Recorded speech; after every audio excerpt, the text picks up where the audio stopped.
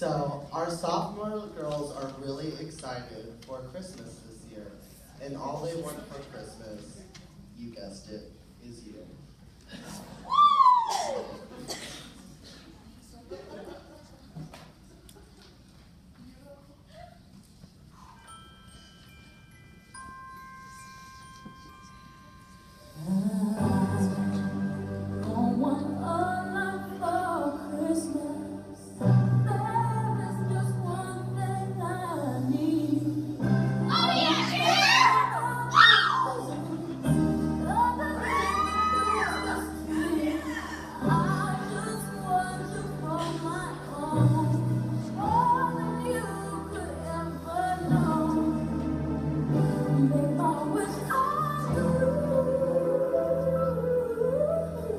Thank.